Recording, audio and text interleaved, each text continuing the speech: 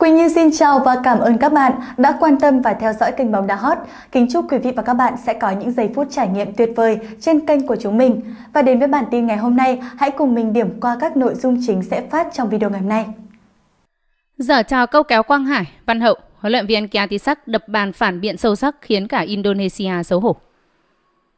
Vâng thưa quý vị, bắt đầu từ mùa 2023-2024, giải vô địch quốc gia Indonesia có thêm một hạn ngạch cầu thủ Đông Nam Á.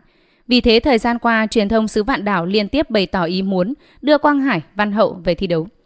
Khi được hỏi cầu thủ Việt Nam liệu có nên xuất ngoại tới Indonesia hay không, huấn luyện viên Kiatisak nói: "Theo tôi, trình độ giải vô địch quốc gia Indonesia có lẽ còn kém V-League nên cầu thủ Việt Nam mình có sang cũng chỉ để thay đổi môi trường thôi. Tất nhiên sang đó để thay đổi môi trường cũng là điều thú vị." Nếu phía Indonesia đưa ra các đề nghị có khía cạnh tài chính tốt thì tội gì cầu thủ Việt Nam không đi. Nhưng nếu để mong sang đó trau dồi tiến bộ về chuyên môn thì khó. Di Cô Thái cho rằng nếu để cải thiện về chuyên môn, tại khu vực Đông Nam Á chỉ có duy nhất Thái League phù hợp cho cầu thủ Việt Nam. Ở khu vực Đông Nam Á, nếu cầu thủ Việt Nam có định xuất ngoại thì Thái Lan là điểm tới tốt. Dẫu sao bóng đá chuyên nghiệp của Thái Lan cũng tốt hơn Việt Nam, trình độ cao hơn V-League. Nếu ở Thái League tốt thì cầu thủ Việt Nam có thể chơi 1 hoặc 2 năm. Còn nếu trong tuổi sung mãn thì sang tiếp Nhật Bản, Hàn Quốc. Cho rằng các cầu thủ Việt Nam vẫn có thể sang Indonesia để thay đổi môi trường và kiếm tiền. Nhưng huấn luyện viên Kiatisak lại đặc biệt lưu ý Văn Hậu không nên đi. Bởi lẽ những năm qua, có một bộ phận giới mộ điệu bóng đá xứ vạn đảo không thích ngôi sao quê Thái Bình. Ông nói, vừa rồi tôi thấy truyền thông Indonesia tại sao cứ nói về việc mua Văn Hậu. Có ẩn ý gì sau không? Một bộ phận giới mộ điệu bóng đá Indonesia cũng đã ghét Văn Hậu trong thời gian dài. Với riêng Văn Hậu, tôi nghĩ không nên sang Indonesia vì nơi đó có nhiều người không thích cậu ấy. Bóng đá Indonesia có nhiều điều quá khích nên cần thận trọng. Về trường hợp của Quang Hải, Di Cô Thái cũng cho rằng không nên sang Indonesia lúc này, nhưng với lý do khác Văn Hậu. Tôi nghĩ trong thời điểm hiện tại, Quang Hải không nên sang Indonesia. Để cứu vãn sự nghiệp thì cậu ấy nên về nước để tìm lại phong độ cũ. Tôi đang rất lo cho Quang Hải và Công Phượng. Bóng đá cần sự nhạy bén và linh hoạt của cả cơ thể lẫn đầu óc. Nếu anh không được thi đấu thì phản xạ của cơ thể và đầu óc sẽ mòn đi. Điều tốt nhất với cả Quang Hải lẫn Công Phượng là quay trở lại V-League để tìm phong độ đỉnh cao. Nếu phục hồi tiếp thì hãy đi tiếp. Chưa cố xuất ngoại luôn sẽ chỉ tự mình hại mình thôi. Huấn luyện viên Kiatisak cho biết thêm. Các cầu thủ Việt Nam khi xuất ngoại cần có những phân tích chuyên môn sâu thật cụ thể để tránh thất bại như các trường hợp của Quang Hải, Tuấn Anh, Công Phượng, Xuân Trường. Cầu thủ Việt Nam đi đâu thì đi, cần tính toán kỹ, nơi tới phải phù hợp về chuyên môn, phù hợp với khả năng của mình. Anh đã hay ở Việt Nam, đâu có nghĩa sang nước khác cũng vậy. Việc tìm kiếm một bến đỗ mới, nhất là khi xuất ngoại, cần những phân tích chuyên môn rất chi tiết. Ví dụ thể lực của anh thế nào, nơi anh sắp sang họ yêu cầu ra sao, các cầu thủ ở giải đó chạy trung bình mỗi trận bao nhiêu, anh có đáp ứng được không? Như chuyện Quang Hải đi Pau FC, có lẽ những người hỗ trợ cậu ấy đã không tìm hiểu kỹ giải hạng 2 của Pháp chơi như thế nào. Cầu thủ League 2 quá khỏe, gần bằng League 1. Các cầu thủ châu Phi, châu Mỹ có tố chất cơ thể rất khỏe. Có thể kỹ thuật họ bằng mình nhưng họ khỏe hơn, bền hơn thì sẽ thi đấu tốt hơn mình, trụ lại được League 2. Mình kỹ thuật chưa chắc đã hơn họ, thể lực kém hơn, các thứ khác yếu nữa thì làm sao đọ được. Nên khi xuất ngoại thì cần tính toán hết sức cụ thể, rõ ràng, có sự tham mưu tốt. Ngoài câu chuyện thể lực, còn rất rất nhiều vấn đề khác nữa, không thể qua loa được. Với Văn Hậu, trang Libero của Indonesia cho rằng Văn Hậu rất phù hợp với tiêu chí chọn ngoại binh của các câu lạc bộ thuộc Liga 1. Điểm mạnh nổi bật của Văn Hậu là sự đa năng. Cầu thủ này thi đấu ở vị trí hậu vệ trái tại Hà Nội FC. Nhưng khi lên đội tuyển Việt Nam, Văn Hậu thích nghi tốt với vai trò cầu thủ chạy cánh trong hệ thống ba trung vệ. Khả năng tấn công của Văn Hậu rất nổi bật. Anh thường tung ra những quả tạt chất lượng từ cánh trái. Tại V-League 2023, Văn Hậu đã có 3 đường kiến tạo trong màu áo câu lạc bộ Công an Hà Nội. Ở đấu trường cúp quốc gia, cầu thủ này ghi bàn trong chiến thắng 3-1 trước Khánh Hòa. Một ưu điểm lớn khác là kinh nghiệm thi đấu quốc tế.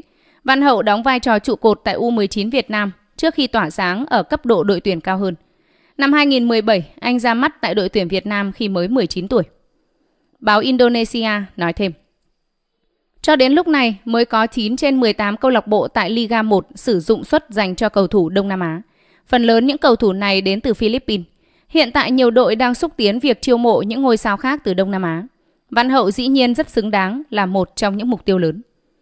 Theo nguồn tin đáng tin cậy mà nội bộ chúng tôi được biết, ngoài Văn Hậu, Quế Ngọc Hải cựu đội trưởng của đội tuyển Việt Nam cũng là cái tên nhận được sự quan tâm lớn của các giải vô địch quốc gia ở Indonesia. Trên trang Transfermarkt, Văn Hậu hiện được định giá khoảng 275.000 euro, tức là khoảng 6,9 tỷ đồng. Đội bóng nào muốn có được chữ ký của Văn Hậu cần phải bỏ ra số tiền lớn, bao gồm chi phí chuyển nhượng và lót tay. Đây là điều mà các đội bóng Indonesia cần phải suy nghĩ nếu muốn hậu vệ tài năng của bóng đá Việt Nam. Đoàn Văn Hậu từng xuất ngoại thi đấu tại giải vô địch quốc gia Hà Lan trong màu áo câu lạc bộ SC Heerenveen. Tuy nhiên anh chỉ được vào sân 4 phút cho đội 1 tại Cúp Quốc gia Hà Lan. Hợp đồng giữa Văn Hậu và đội bóng này đã kết thúc vào ngày 30 tháng 6 năm 2020. Trong dịp FIFA Days tháng 6 năm 2023, Đoàn Văn Hậu là một trong 33 cái tên sáng giá được huấn luyện viên Philip Chuzer triệu tập cho đợt hội quân của đội tuyển Việt Nam. Với Quang Hải, tờ Indosport đưa tin, nếu bạn theo dõi một cầu thủ Đông Nam Á chơi bóng ở châu Âu thì thực sự có một người, đó chính là Nguyễn Quang Hải. Cầu thủ có biệt danh Messi của Việt Nam đang thi đấu tại giải League 2 của Pháp trong màu áo câu lạc bộ Pau FC. Nguyễn Quang Hải còn hợp đồng đến tháng 6 năm 2024 nhưng được ra sân rất ít. Phía câu lạc bộ Persija Jakarta hoàn toàn có thể tận dụng điều này để lôi kéo Quang Hải đến với câu lạc bộ để thi đấu tại Liga 1. Theo nguồn tin này, Quang Hải rất phù hợp với yêu cầu của huấn luyện viên Thomas Doll khi ông muốn tìm những cầu thủ từng chơi bóng ở châu Âu. Quang Hải chính là cầu thủ được huấn luyện viên Thomas Doll quan tâm. Lý do là bởi Quang Hải đang thi đấu ở châu Âu, có đẳng cấp và phù hợp với lối chơi của câu lạc bộ Persija Jakarta. Hợp đồng của Quang Hải với Pau FC vẫn còn thời hạn đến tháng 6 năm 2024, nhưng anh được ra sân khá ít và tiền vệ này cũng đang cân nhắc tìm bến đỗ mới phù hợp hơn trong giai đoạn tới. Quang Hải dù không được thi đấu thường xuyên nhưng vẫn nằm trong danh sách tập trung của huấn luyện viên Chu cho hai trận đấu giao hữu FIFA Days với Hồng Kông Trung Quốc và Syria vào tháng 6. Bên cạnh Quang Hải, hai cái tên xuất ngoại khác là Công Phượng và Văn Toàn cũng được điền tên vào danh sách tập trung ngày 5 tháng 6. Vì sao Văn Quyết không được gọi lên tuyển Việt Nam? Nhằm chuẩn bị hai trận giao hữu dịp FIFA Days tháng 6, nhà cầm quân người Pháp đã triệu tập những gương mặt tốt nhất lên tuyển Việt Nam. Trong danh sách 33 cầu thủ được triệu tập, có bộ ba đang chơi bóng ở nước ngoài, gồm có Văn Toàn ở Hàn Quốc, Công Phượng ở Nhật Bản và Quang Hải ở Pháp. Tiếc rằng trong bản danh sách này không có tên Văn Quyết, tiền đạo hai lần giành quả bóng vàng Việt Nam. Trần Sút sinh năm 1991 luôn là nhân tố quan trọng giúp đội bóng thủ đô thống trị giải quốc nội. Tuy nhiên, giai đoạn huấn luyện viên Park Hang-seo nắm quyền từ năm 2017 đến đầu năm 2023, Văn Quyết vẫn nổi bật ở câu lạc bộ. Nhưng vì không phù hợp với triết lý của nhà cầm quân người Hàn Quốc nên không được trọng dụng. Lên thay huấn luyện viên Park Hang-seo đợt FIFA Days hồi tháng 3, ông Philip Chuzer có triệu tập Văn Quyết, song đội tuyển Việt Nam không có bất kỳ trận giao hữu nào. Lần này có cơ hội chứng tỏ bản thân với nhà cầm quân có biệt danh phù thủy trắng, nhưng Văn Quyết lại bị ngó lơ.